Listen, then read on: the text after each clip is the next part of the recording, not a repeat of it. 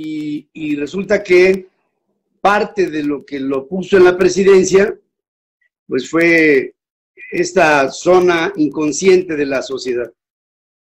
Una zona que no tiene educación, una zona que no paga impuestos. Esto es algo muy importante a resaltar. O sea, yo les aseguro que el 80% del que votó por Andrés Manuel no paga impuestos.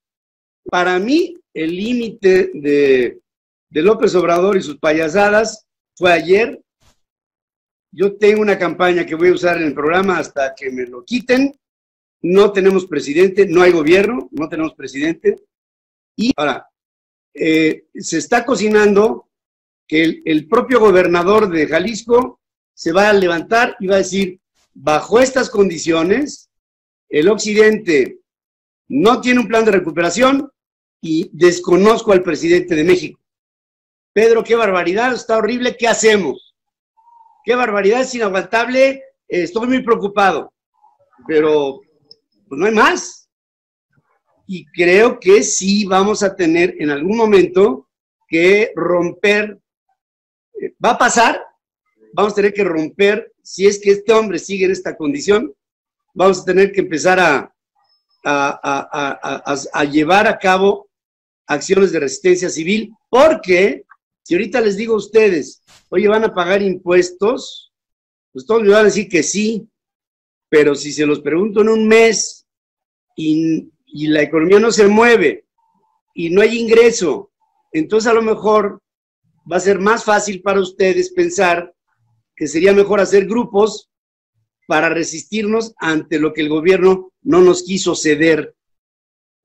Difícilmente podríamos levantar a nuestras empresas si aparte de que traemos aquí la soga al cuello, hay un gobierno que no nos hace concesiones y que, y que no nos da oxígeno para, para seguir respirando. Entonces, este gabinete empresarial tiene a gente como, como Ricardo Salinas Pliego, que ya vieron el otro día, ¿no? El, el, el pancho que hizo invitándonos a todos a salir a la calle a trabajar en, el, en, el, en ese concepto está Emilio Azcárraga, que está calladito porque nos acaban de otorgar eh, los tiempos oficiales. Eh, Ricardo Salinas. ¿Cuánto Legario? Mi imperamigo Legario eh, está, está deshaciéndose de la parte mediática de una manera muy, muy, muy discreta pasándole toda la bola al grupo del Heraldo, que tienen todo el dinero del mundo para quedarse con la cadena de imagen, tanto de radio como de televisión, y que hay detrás de eso un proyecto político en el que está Malio Fabio Beltrón. El PRI representa un problema potencial muy fuerte. Se quedaron sin poder, pero llenos de dinero. No hay nada más peligroso que un, algo que tenga rencor y que tenga poder económico, porque van a querer aprovechar un momento de inestabilidad del país para meter toda la caballería, meter muchos recursos, mover el agua y acabar en el poder. Es toda la, miren, yo estoy en un sector en donde pues, movemos la publicidad. Prácticamente Hoy estoy manteniendo el programa sin patrocinadores. Todos están esperando que pase un milagro. la, parte dura de Morena recibe con enorme beneplácito el, el mensaje de ayer.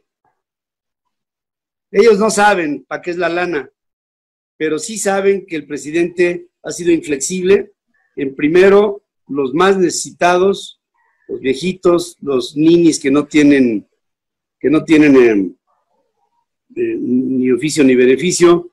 Ahora, eh, así como el otro día pasó en Bolivia, que se cae el, gobierno de Evo Morales y el idiota del presidente de México le da asilo político y que viene William Barr y lo corren y lo mandan a Argentina, pienso que eh, Trump es un zorro y ha dicho yo me llevo muy bien con el presidente de México. Pero en el fondo hay una preocupación muy grande por el camino que estamos siguiendo en México. Y, y, este, y creo que de aquí a mediados de año vamos a tener un hervidero. Eh, acuérdense, la última manifestación que hubo ya fue nutrida, la de las mujeres, y dicha de paso, veo, aquí mujeres en la, en la, en la plática, y dicha de paso, los grandes movimientos sociales que ha tenido México del siglo XX y XXI han sido instigados por la mujer. El puedo decir por lo que a mí me toca, que yo no voy a, a parar hasta, hasta que esto se enderece porque me daría profunda vergüenza dejarte un país eh, hecho pedazos. Y, se ve claramente que si no hacemos nada, te podríamos dejar un montón de basura. Entonces, no, no, no te preocupes, vamos a, vamos a luchar y, vamos a, a sacar esto adelante, no te preocupes.